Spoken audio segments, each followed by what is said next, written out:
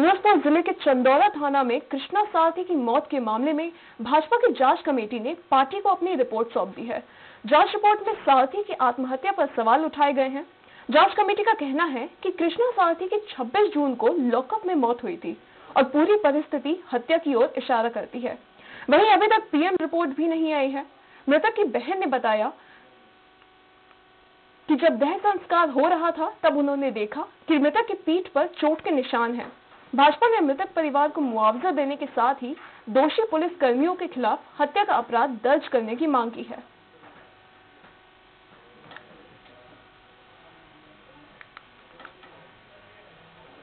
ज़्यादा जानकारी के साथ आशीष तिवारी जुड़ गए हैं हमारे साथ।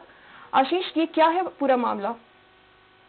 देखिए सूरजपुर ज़िले के चंदौरा थाने में संदेह हस्पत परिस्थिति में एक व्यक्ति ने आत्महत्या कर ली थी। दरअसल इसके खिलाफ कोई आपराधिक प्रकरण भी दर्ज नहीं था। पुलिस ने पूछताछ के बहाने उसे थाने में लेकर पुलिस लेकर आई थी और संदिग्ध हालात में उसकी मौत हो गई। और आरोप लगा कि पुलिस ने अपनी कस्टडी में रखने के दौरान उसकी बेदम पिटाई की थी और पिटाई के बाद उसने आत्महत्या कर ली। लेकिन बीजेपी ने इस पूरे मामले पे एक जाँच कमेटी बनाई थी। कमेटी में कृष्णमूर्ति बांधी विधायक सौरभ सिंह शामिल थे और इस कमेटी ने चंदौरा थाने और उसके आसपास जाकर पूरे मामले की अपने स्तर पर पड़ताल की। परिजनों से भी मुलाकात की और बातचीत के बाद इस भाजपा की इस आंतरिक कमेटी ने अपनी रिपोर्ट आज आला कमान को सौंपी है प्रदेश के और रिपोर्ट सौंपने के बाद प्रेस कॉन्फ्रेंस के दौरान बीजेपी ने आरोप लगाया है कि पुलिस की पिटाई के बाद ये मौत हुई है और इसे आत्महत्या का आत्महत्या की रूप देने की कोशिश की जा रही है।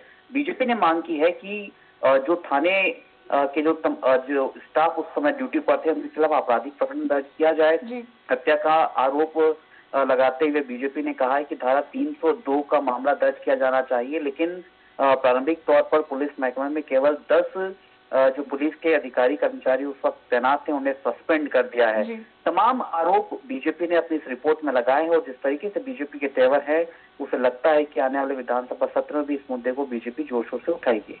जी शुक्रिया आशीष तमाम जानकारी के लिए।